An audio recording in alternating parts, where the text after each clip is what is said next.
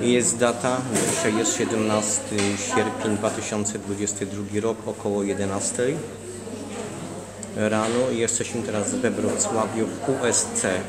USC jest to czas rzeczywisty, zaraz to będzie na YouTubie USC Wrocław. Dobrze, więc y, za, zaraz y, jak skończę w USC może jakiś film o rybach nakręcę w Kosie. Mm, Potem y, udam się w okolice elektrociepłowni Wrocław, tam gdzie są te kominy wysokie i tak dalej, blisko Odry. 10. Stanowisko 10. I tam nakręcę kilka filmów też do Magdaleny Kaliszewskiej, do Wolnych Ludzi i do wszystkich innych, do Kaczyńskiego może i tak dalej. Y, aby poinformować ich, że już piąty rok nie mogę robić zakupów, y, nie mogę robić zakupów y, w, w obrębie 50 metrów, ponieważ mam zakaz przebywania w obrębie 50 metrów, ale tam są obiekty handlowe różne, więc ten zakaz 50 metrów y, no, po prostu też godzi i szkodzi tym różnym przedsiębiorcom polskim, którzy tam mają swoje sklepiki. O 34. Stanowisko 5. a jest to y, skrzyżowanie dokładnie ulica Pomorska, Plac Strzelecki.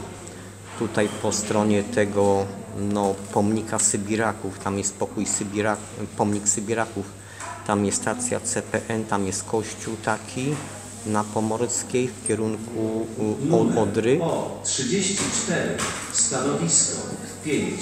Y, Tam jest pętla zerówki, stara, pęt, sta, stara pętla e, tramwaju numer 0, taki duży węzeł komunikacyjny, więc to jest dokładnie tutaj po stronie takiego klombu, taki park tutaj, zaraz przy ko kościele, 13. Stanowisko 2. więc to jest dokładnie skrzyżowanie Plac Strzelecki, ulica Pomorska, tam jest koło przystanku 35. autobusowego. 5. K142, 132. Y, Tam są różne sklepiki małe na, na parterach, więc one wszystkie się mieszczą w, w granicach 50-metrowej strefy, której państwo polskie wydało mi zakaz poruszania się właśnie. Nakręcę to, że to jest y, przestępstwo i to duże, ponieważ nie mogę robić już piąty rok zakupów tam, więc dawać i zarobić i płacić dzięki temu podatki do skarbca najjaśniejszej trzeciej RP. Więc właśnie będę chciał o tym zrobić 57. Stanowisko 3. ki- kilka filmów informujących wszem i wobec wszystkich, że po prostu moi doradcy z City of London i City of Berlin mówią jasno, że, że, że to jest po prostu złamanie wszelkich y, praw na tej planecie, że państwo polskie w imieniu swoim zabrania mi przebywać y, w rejonie 50 metrów, czyli tamtejszym, czyli narusza interesy przedsiębiorców, więc można śmiało podać do sądu państwo polskie za to, że ja nie mogę wydawać pieniędzy od 5 lat dokładnie tam. Y, Teraz mówię o takim malutkim sklepiku. Być może to jest komis, ale nazwę ustalę. Nie chciałbym się tego szukać, bo to może na potrzeby tej wiadomości nie jest tak bardzo istotne i potrzebne. Ale tam y, y, mamy plac strzelecki, tak? Mamy pierwszą bramę numer dwa. Pierwsza możliwa narożna brama, klatka schodowa to jest numer dwa. To tam na samym rogu tej ulicy, skrzyżowania ulicy Pomorskiej i Placu Strzeleckiego, tam jest w piwnicy, je, jeden jedyny w piwnicy, taki komis z telefonami, karty y, SIM z telefonami komórkowymi i tak dalej. Więc ten taki sklepik malutki y, piwnicy, piwnicy, czyli pod poziomem ziemi można powiedzieć, pod poziomem parteru, on jest dokładnie 5 metrów od klatki schodowej numer 2. Wiecie o tym, czyli akurat ten biznes, ten przedsiębiorca i tak dalej on właśnie y, cierpi, nawet nie wiedząc o tym, on cierpi już od pięciu lat poprzez to, że ja mam zakaz, aby tam przebywać. Wiecie o tym?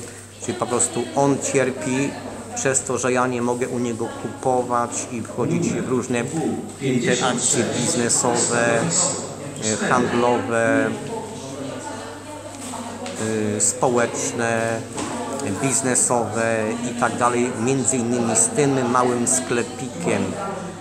Więc to jest naruszenie jego praw jako przedsiębiorcy, gdyż tak potocznie mówiąc, on utraca to, potencjalne dochody, które uzyskałby przez 5 lat. Aż przez 5 lat, gdybym u niego kupował po prostu. I oczywiście inne sklepiki tam takie drobne właśnie, które są tam y, przy przystanku au- autobusowym, który tam jest na ulicy Pomorskiej w kierunku miasta, w kierunku y, dworca Świebockiego, y, Jana Pawła II, w kierunku mostów i centrum miasta. Yy, więc mówimy tutaj o, o tych malutkich sklepikach, które tam są.